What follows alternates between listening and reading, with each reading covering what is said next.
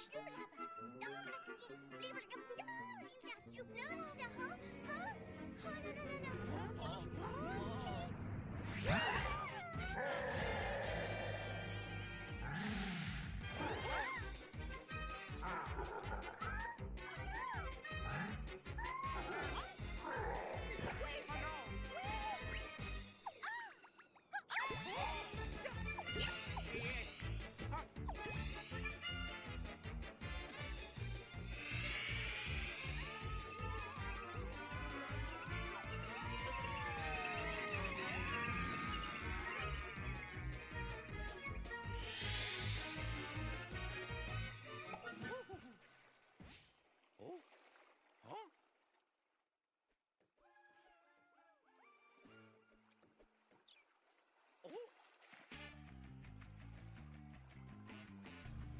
Und damit herzlich willkommen zu einem neuen Let's Play auf meinem Kanal. Und zwar spielen wir Super Mario 3D World.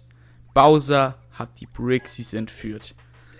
Ich denke mal, ihr sollt dieses Spiel spätestens zum Mario 3D World Release kennen. Denn, äh, zum äh, Mario Maker 2 Release kennen. Dort ist es ein spielbarer Stil wo ich mich schon ultra drauf freue, muss ich sagen. So. Äh. Bowser hat die Brixies äh, gefangen genommen. Und das sind diese kleinen Feen. Und jetzt müssen wir die alle zurückholen. Das ist eine ziemlich billige Story, aber sie ist besser als dass Peach entführt wird. Denn das hatten wir jetzt wirklich ja, zur Genüge. Ich hoffe, die Aufnahme ist ansatzweise in 60 FPS.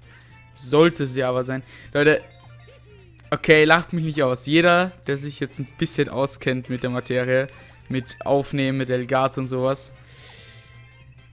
der wird mich jetzt auslachen. Also, ich wollte die Wii U auf meinem PC kriegen. Weil ich keinen Bock habe, immer rüber ins andere Zimmer, ins Wohnzimmer zum Fernseher zu gehen und dort aufzunehmen, weil ich dann alle anderen aus dem Zimmer jagen muss. Was halt wirklich hm, sehr, sehr, sehr ungeil ist. Die müssen dann irgendwo anders hingehen, nur weil ich da aufnehmen will. Und, ähm, ja. Also wollte ich die Wii U auf den Fernseher kriegen und, ja. Hab dann Elgato angeschlossen, HD60S, alles was dazu gehört, aber, jetzt kommt's große Aber, Äh, ja, irgendwie funktioniert das nicht. Ich glaube, ich muss mir dann ein Programm runterladen, dass ich Wii U auf meinem PC aufnehmen kann. War mir jetzt aber zu blöd, deswegen. okay. Äh, habe ich einfach äh, Elgato Aufnahmeprogramm auf InstaView geschalten, sodass hier, dass ich den Fullscreen sehe auf dem äh, PC. So, äh, da schaue ich nämlich auch gerade die ganze Zeit drauf. Und OBS nimmt den Fullscreen von der Elgato Aufnahme vom Elgato Aufnahmeprogramm auf. Das ist so unprofessionell, Leute. Es ist vielleicht könnt ihr es nicht verstehen, weil ihr nicht in der Materie drin seid, aber das ist anders. Anders unprofessionell gerade. Trotzdem hoffe ich, dass es ganz gut funktioniert. Wenn die Aufnahme jetzt ansatzweise leckfrei ist und die Sounds stimmen, dann werde ich das in Zukunft auch so machen. Wahrscheinlich werde ich mir dann irgendwann mal das Programm runterladen, das wir brauchen. Aber jetzt derweil werde ich es mal so belassen. das ist so, so dumm. Ich mache gerade eine Bildschirmaufnahme mit OBS, ne, weil es ging ja nicht mit einer Gaming-Aufnahme, weil das ja kein Vollbild ist. Also ich mache gerade eine Bildschirmaufnahme. Holy shit, Leute, das ist anders. Aber ich, ich sehe keine Frame Drops bis jetzt. Verzögerung ja, Frame Drops nee. Also bis jetzt passt auf jeden Fall. So, kommen wir mal ein bisschen zum Spiel. Ich habe mir gedacht, ich starte jetzt noch ein Let's Play, bevor wir übergehend in das legendäre Mario Maker 2 Let's Play, welches wahrscheinlich in die Saga meines Kanals eingehen wird. Und da wollte ich unbedingt vorher noch ein Let's Play machen. Und da spielen wir jetzt einfach 3D World, weil das ist ein Stil, der neue Stil, das große neue Ding in äh, Mario Maker. Und da dachte ich mir, was würde besser passen als das Spiel. Unten rechts seht ihr übrigens einen von vielen Pixel-Luigis, welche in diesem Spiel versteckt sind. Spiel erschien 2013 irgendwann, keine Ahnung, oder 2012. Könnte auch sein, ich glaube eher 2013, wenn ich drüber nachdenke. Und ja, also, ich bin kein Experte drin, okay. So, zweites Level. Hm. Werden 100% spielen auf jeden Fall. Außer halt alle Stempel, weil da muss ich alle Level 5 mal spielen, da habe ich dann keinen Bock drauf. Werden alle Level einmal spielen. So, jetzt wurde ich getroffen. Ich würde sagen, weil ich jetzt eh schon getroffen wurde, zeige ich euch einfach mal kurz, wie ihr in diesem Spiel One-Ups farmen könnt. Und zwar müsst ihr einen Panzer nehmen, geht hier hin, werft den Panzer auf den Boden, lasst euch treffen und jetzt springt ihr einfach.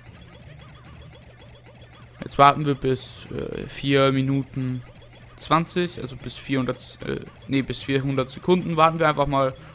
Ganz gemütlich.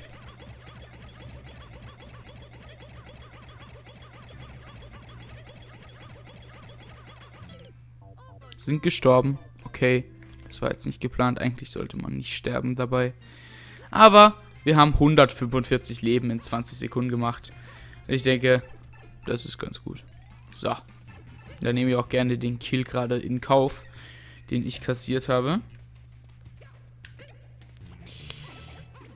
Boah, wenn die Aufnahme so, so, so leckfrei läuft, ne, das wäre so geil. Es ist halt mega unprofessionell, aber es funktioniert. Und was funktioniert, das äh, kann man so beibehalten. Sag ich das, Mario Maker wird so heftig werden. So heftig wie dieses Spiel hoffentlich, weil das ist wirklich, ich würde sagen schon also es ist, es ist weit hergegriffen, ne? aber ich würde schon fast behaupten, dass es mein drittliebstes Videospiel ist. Neben Fortnite und Minecraft natürlich. Minecraft auf der 1, Fortnite auf der 2 und ich würde sagen, das hier belegt tatsächlich den dritten Platz. Es hat unfassbar viele Welten. Und mit unfassbar meine ich wirklich unfassbar. Und macht einfach so viel Spaß. Es ist kein ultra schweres Spiel, aber es ist halt einfach ein geiles Spiel. So, es geht darum, die drei Green Stars in jedem Level zu bekommen und den Stempel, denn diese sind für die 100% und alle Welten, äh, die man freischalten kann, notwendig. Okay, da kann ich wohl hoch.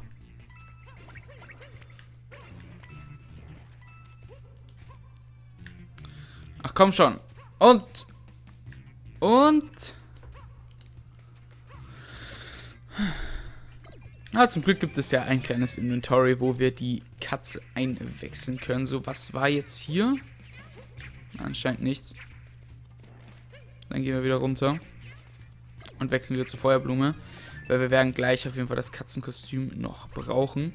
Um den ersten Secret Exit des Spiels uns zu sichern. Denn der ist auch in diesem Level hier drin. Aber vorher holen wir uns noch kurz den Stempel. Wie gesagt, ich habe das Spiel. Es ist eins meiner Lieblingsspiele. Jeder, der 1 zu 1 zusammenziehen kann, heißt, dass ich das schon gespielt habe. Aber nicht nur einmal, Leute. Nicht nur einmal, das kann ich sagen. Ich habe das Spiel gleich zweimal komplett durchgespielt. Und, ähm... Ich will nicht lügen, ne? Ich glaube, ich habe es zweimal komplett gespielt und einmal bis zur achten Welt. Ich glaube, das ist schon die Passage, die ich meinte. Ja. Hier über dem ersten, äh, über dem Stempel dieses Levels befindet sich nämlich eine rote Röhre und auf einmal sind wir auf der Oberwelt und oh Gott, oh Gott, oh Gott, oh Gott, oh Gott. Wo geht das denn hin? Ja, Menschenskünatz.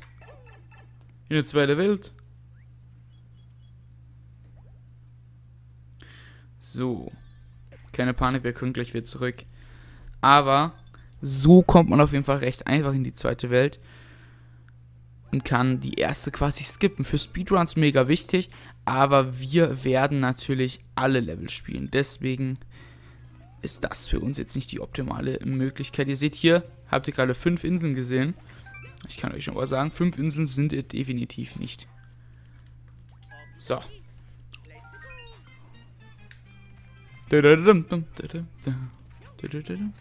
Ich habe jetzt ein verlängertes Wochenende. Ich weiß jetzt nicht, ob das Pfingsten ist oder sonstiges. Auf jeden Fall muss ich morgen, also am Donnerstag, ganz dringend los zu meiner Familie.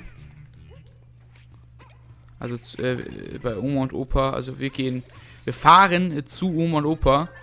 Die ist nämlich ewig weit weg von uns, eineinhalb Stunden Autofahrt. Und dort trifft sich meine ganze Familie mütterlicherseits und wir gehen essen. Das wird sich ziehen. Aber vielleicht kann ich heute ein bisschen vorproduzieren.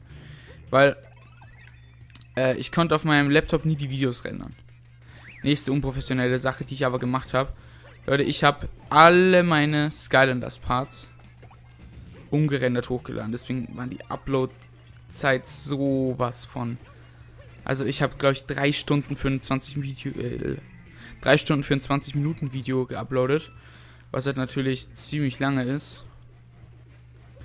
Und deswegen kamen auch so selten Parts und auch manchmal lange Zeit keine Parts. Oder weil die Motivation gefehlt hat. Oder weil viel Besuch da war. Das gibt es jetzt alles nicht mehr.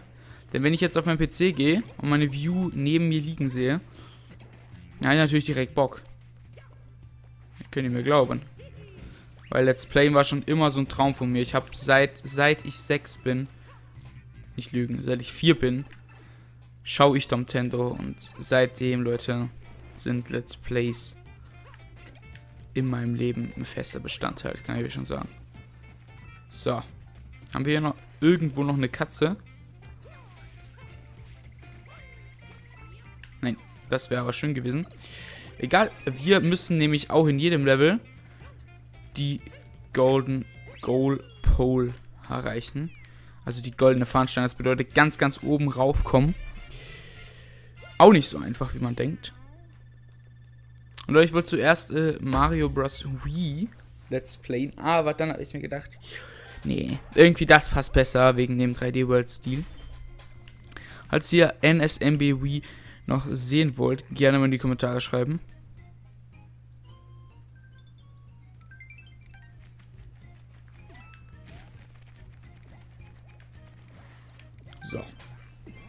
Kämpfen wir gegen den Chuck aus dem Weg Football Chucks. So, hier lohnt sich natürlich äh, die Feuerblume. Das sind so kleine Zwischenbosses, die es immer wieder gibt. Die mir auf jeden Fall ganz gut gefallen, muss ich sagen.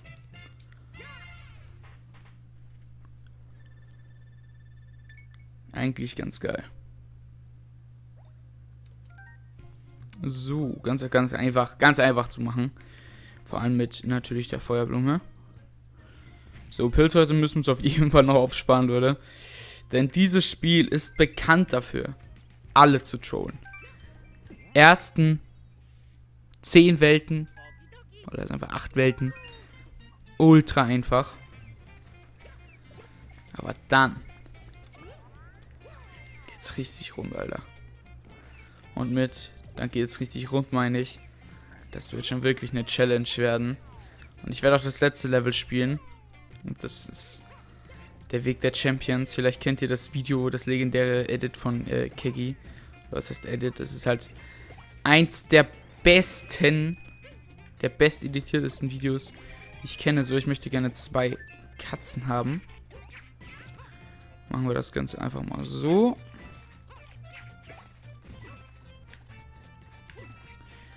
Das äh, best editierteste Video, was ich kenne, das von Kegi wo er das letzte Level dieses Spiels gespielt hat.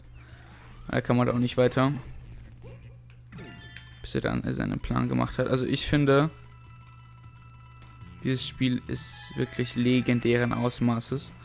Ich habe aber aktuell wirklich ein bisschen Angst, weil seit diesem Spiel ist halt kein klassisches Mario oder kein generell kein Mario außer halt Odyssey erschienen und Odyssey war halt ganz anders als äh, die anderen Mario-Spiele. Das hier war ja so ein bisschen an 3D World angelehnt. 3D World war ja so ein bisschen an 64 angelehnt. Aber Odyssey war ein komplett neuer Stil und ich denke nicht, wenn ich ehrlich bin, es ist schmerzt zwar zu sagen, aber ich denke nicht, dass sie jetzt noch in nächster Zeit auf der Switch auf jeden Fall äh, ein 2D Mario releasen werden oder ein 3D Mario. Und wenn sie ans Release sind, dann auf jeden Fall ein Port für dieses Spiel. Weil das Spiel... Oh Gott! Das Spiel hat sich ja für Wii U-Verhältnisse zusammen mit Mario Maker und Mario Kart 8, glaube ich, so mit am besten verkauft. Es ist halt schon so ganz gut. So. Hier oben haben wir noch ein kleines One-Up-Pilzchen. Und hier haben wir eine Cloud. Und da jumpen wir einfach mal rein und mal gucken, was passiert. Da haben wir eine von vielen Himmelspassagen in diesem Spiel. Hier muss man einfach nur schnell durchrennen und alle töten. Und ganz am Ende gibt es natürlich noch einen Grünstern. Auf korrekt.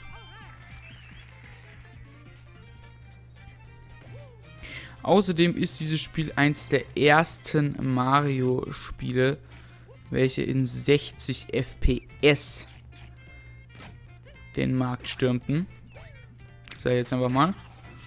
Also es war halt eins der ersten 60 FPS Mario-Spiele. Und ganz ehrlich, das merkt man richtig. Es ist halt mega, mega geil von der Qualität her. Und vor allem für ein Wii U-Spiel extrem gut geworden.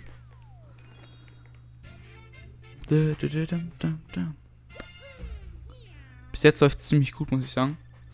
Ich kann mich jetzt hier einfach, einfach hinsetzen. Werde ich wahrscheinlich eh machen am Freitag oder so. Sechs, sieben Stunden mal spielen. Aufnehmen alles. So ein Ding ist es. Weil ich kann halt, ich, weiß ich meine, ist halt alles jetzt possible. Was vorher impossible war.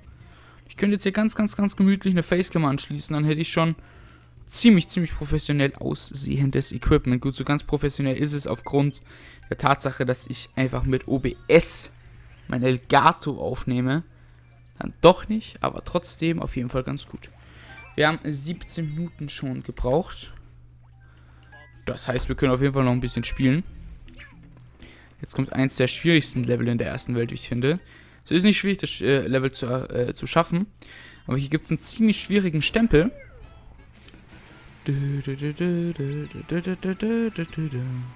Auch gerne Mucke. Und zwar muss man beim Stempel bei einem Wasserfall so ganz, ganz, ganz eng an der Klippe sein. Und das ist halt ziemlich schwer. Und äh, da gibt es eine Abzweigung. Rechts ist der Stempel und links ist ein Stern. Und das bedeutet, wir müssen das Level auf jeden Fall zweimal spielen. Und das wäre halt echt gut, wenn ich hier nicht fehlen würde. Weil wir dann halt uns quasi einen weiteren Try schenken würden. Weil ich glaube, ein Level zweimal zu sehen, das wird öfters passieren. Oh Gott. Aber dreimal ist schon ein bisschen viel. Ich würde sagen, wir machen das Schwierigere zuerst, und zwar den Stempel. Wie ihr hier schon seht, das ist ziemlich eng alles. So, uff.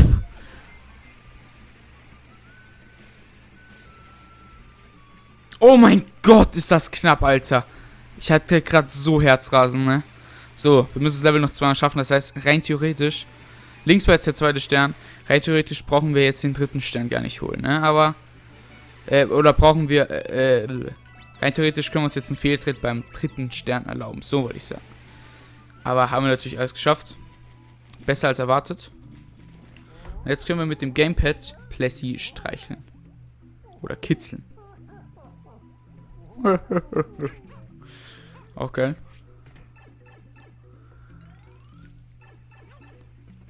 So. Perfekt. Somit haben wir auch dieses Level ganz, ganz einfach geschafft. Aber wir müssen natürlich das nochmal spielen, wie ich gerade schon angeteasert habe.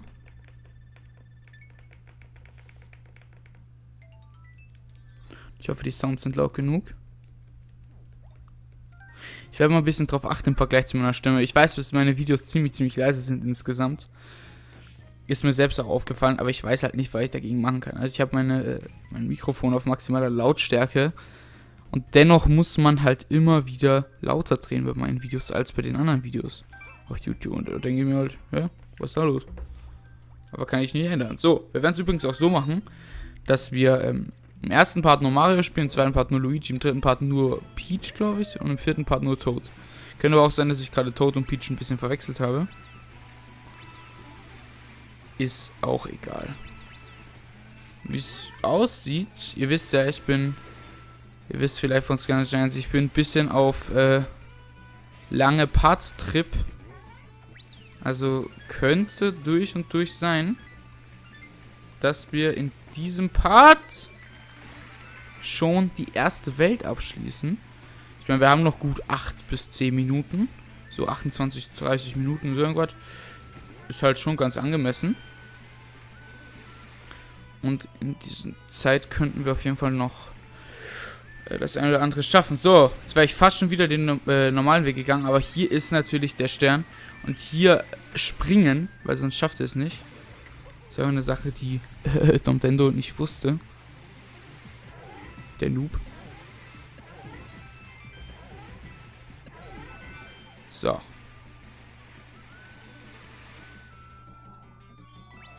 Ich weiß, Leute, ich bin nicht der Einzige, der dieses Spiel so absolut genial finde. Es ist einfach, es ist einfach geil. Die Level sind kurz, die Level sind knackig, die Level sind gut. Das Design, es ist halt einfach, es passt halt alles von vorne bis hinten. Es passt halt einfach alles von vorne bis hinten. So. Vorher haben wir den Jump eigentlich nicht geschafft, aber dank des Katzenumzugs konnten wir nochmal hochklettern. Jetzt haben wir ihn aber auch so legit geschafft. Das passt alles.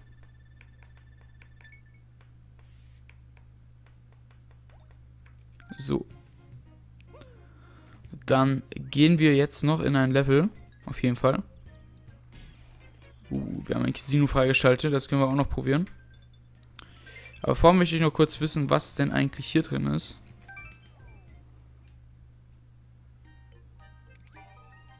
Ein Toadhaus. Ne, das möchte ich noch nicht benutzen, muss ich sagen. Das möchte ich noch nicht benutzen. Dann gehen wir als nächstes in 1.5. Schalter an.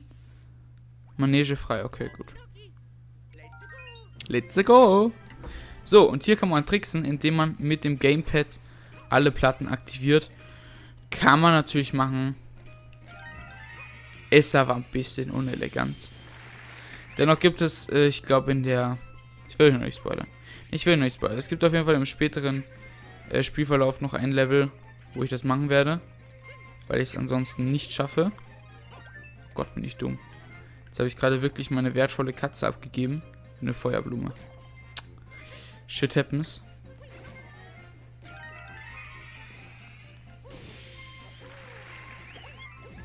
So, da kommen wir auch schon zum ersten Stern. Der ist jetzt nicht so schwer.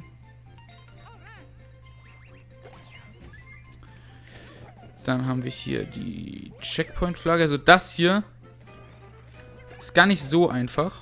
Okay. Das was komplett mit mir.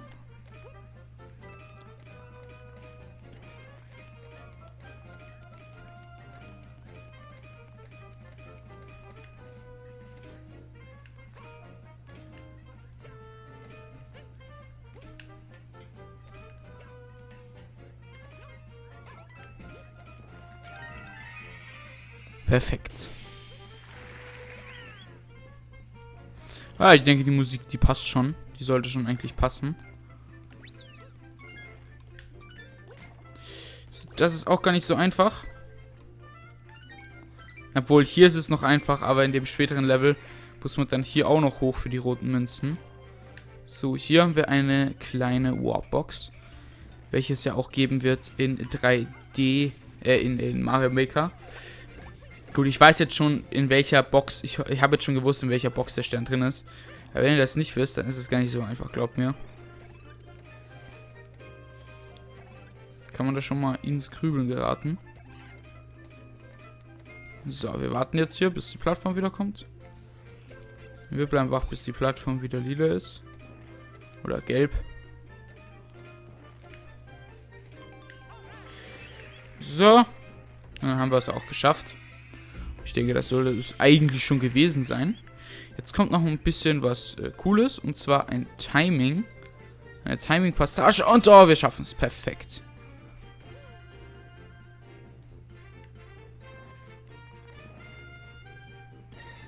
So, und hier weiß ich nicht... Ich weiß nicht, äh, wisst ihr was, wir werden es gleich noch ausprobieren, was passiert, wenn man alle Dinger benötigt. Aber ich habe jetzt gerade ein bisschen Angst, dass das vielleicht ein Fall sein könnte. Bisschen unwahrscheinlich, wenn man drüber nachdenkt, weil wir sind hier in einem Mario-Game. Und das ist eher für Kinder. Wenn es natürlich auch äh, von Erwachsenen gefeiert wird. Keine Frage. Wäre das runtergegangen? Ja, okay. Ja, gut. Perfekt auf den Punkt von der Musik haben wir es geschafft.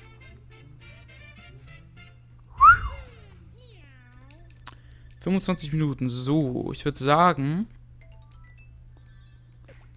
in den Part klatschen wir einfach nur, weil ich Bock habe.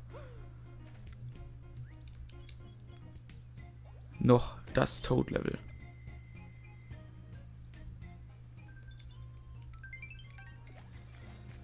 So, hierzu brauchen wir das Gamepad. So. Ich weiß, wie Captain Toad funktioniert, falls Sie mir das jetzt erklären wollen. Und ich glaube, Sie wollen es mir jetzt erklären.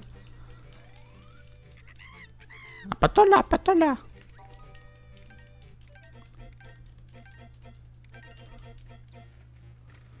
Wir können auch das Ding neigen, das Gamepad, aber ganz ehrlich, wer macht sowas?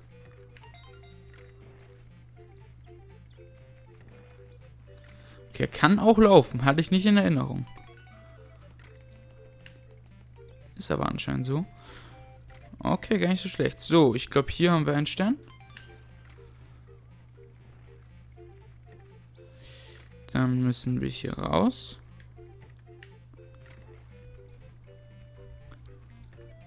Jetzt ganz laut sprechen oder halt ins Mikrofon pusten. Ich finde ganz laut sprechen im Prinzip eigentlich besser, aber es hat gerade irgendwie nicht funktioniert. Egal. So, wir haben es aber geschafft. Ist jetzt nicht so schwer gewesen.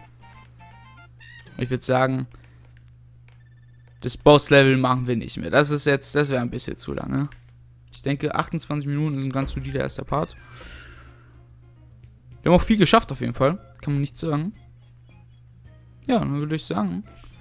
Danke fürs Zusehen. Wenn euch der heutige Part gefallen hat, dann lasst gerne eine positive Bewertung da und ein Abo.